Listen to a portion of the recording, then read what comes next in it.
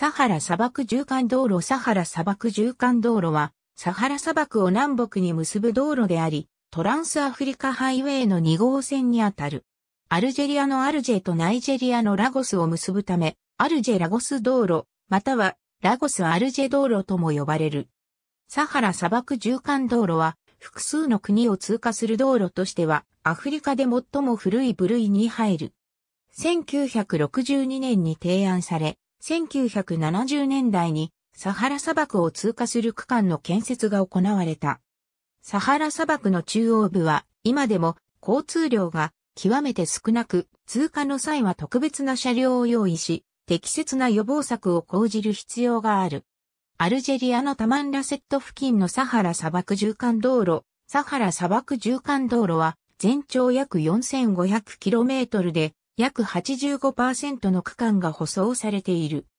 通過する国はアルジェリア、ニジェール、ナイジェリアのみであり、さらに、チュニジア、マリ、チャドへの接続が必要と考えられている。サハラ砂漠縦貫道路のうちナイジェリアに含まれる区間は約 1200km である。この区間はすべて国道扱いとなり、うち 500km 近くは4車線であるが、道路のメンテナンスは行き届いておらず、舗装が欠落している区間も存在する。サハラ砂漠縦貫道路の約半分 2300km 以上はアルジェリアに含まれる。特にインサラーより南はホガール山地の洪水の影響を受けやすいこともあって、道路状態が悪く、常に修理が必要な状態である。2007年にはラマンダセットからニジェール国境のインゲザムまでの 400km の南半分が封鎖された。ニジェールに含まれる区間は 985km である。うち 785km は舗装されているが、道路状態は悪い。サハラ砂漠を南北に縦断する経路は、他に、リビアのトリポリと南アフリカのケープタウンを結ぶ道路がある。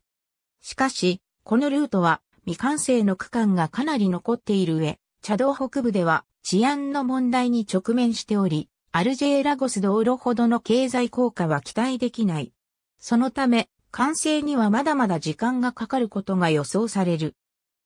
サハラ砂漠を南北に縦断する道路は、アルジェーラゴス道路の他に2本あり、サハラ砂漠の西端、または東端を縦断している。西端を南北に縦断する道路は、エジプトのカイロとセネガルのダカールを結んでいる。この道路はサハラ砂漠を北から南に縦断する最初の道路であり、2005年に完成した。サハラ砂漠東端の道路は、エジプトのカイロから南アフリカのケープタウンを結び、サハラ区間はナイル川に沿っている。ただし、スーダン、エチオピア、ケニアには未舗装の区間が多い。2018年の発表によれば、2019年までにアルジェリアとモーリタニアの間に3つ目の貿易ルートが開かれることになっていたが、まだ開かれていない。この経路はフランス植民地時代にアルジェとダカールの間を結んでおり、大西洋沿岸のスペイン領サハラを回避するために設立されたが1963年に閉鎖された。アルジェリア国内のサハラ砂漠縦貫道路、ニジェール国境付近に打ち捨てられた車ニジェール国内の道路標識サハラ砂漠、縦貫道路は以下の地点で以下の道路と交差している。ありがとうございます。